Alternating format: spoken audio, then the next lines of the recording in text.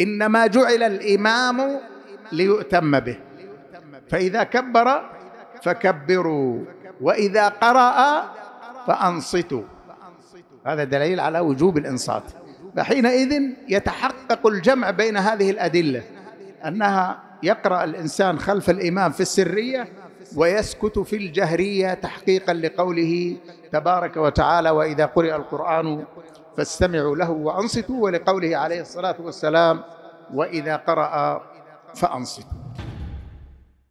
هذه السورة أيها الإخوة كما قلنا تقرأ في الصلاة.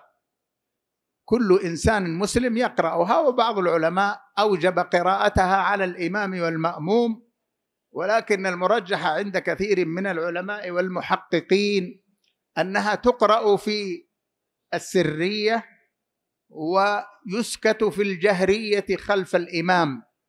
أما الإنسان المنفرد الذي يصلي لنفسه فإنه يقرأها في السرية وفي الجهرية. أما خلف الإمام فقالوا إنه يقرأ في السرية. كالركعتين في العشاء والركعة الأخيرة من المغرب وكذلك في صلاة العصر وصلاة الظهر فإنه يقرأها في الركعات الأربع. ويسكت في الجهرية خلف الإمام. لماذا؟ قالوا جمعا بين الأدلة. لأن الله سبحانه النبي عليه الصلاه والسلام قال لا صلاة لمن لم يقرأ بفاتحة الكتاب. وهذا دليل على إيجاب قراءتها.